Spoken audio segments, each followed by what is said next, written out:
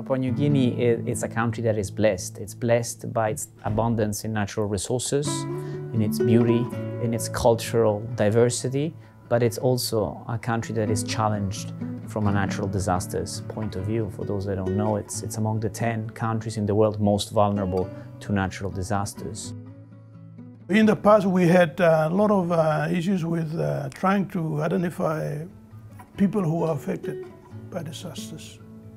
Because when disasters happen, they migrate or they go away to safer zones, safer places. And the challenge for us was to actually track down and identify which, which people are affected.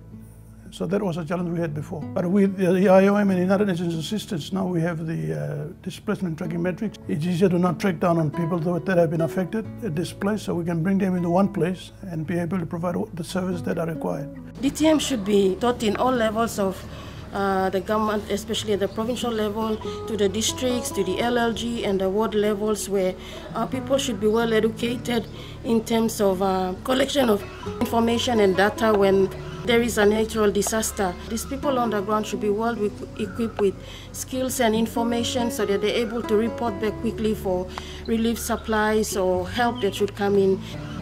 I will try my best to uh, do my responsibility in giving information, even try my best to learn with the skills that I've got to impart to my other women leaders so that we are able to also report back from any situation that is affecting us, especially with women and, and any other related issues in the community. We have come to realize the importance of DTM because previously we, we were just assuming but going through this exercise, we have come to realize that there is template and other arrangements that we could use to actually know how many people we are planning for. Let me thank uh, UN as well as uh, other partners from international organizations, our national government, provincial government for your continued uh, support. Hela has been bombarded with uh, so many disasters 7.5 magnitude earthquake that has destroyed uh, the entire province.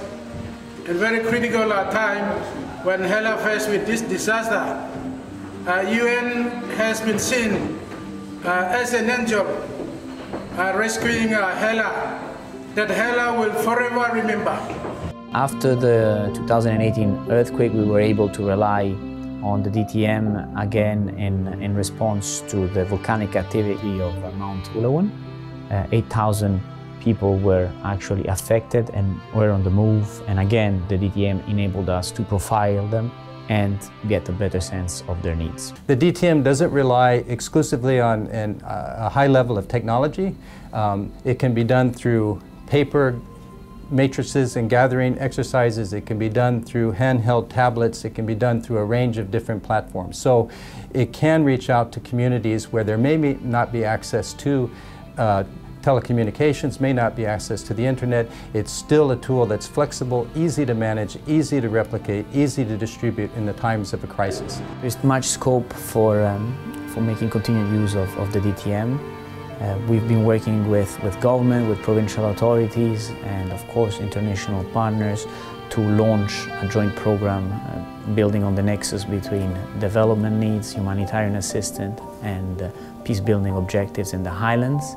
And the DTM will be a fundamental instrument to enable us to get also a sense of movement of people as they are impacted by ongoing conflicts.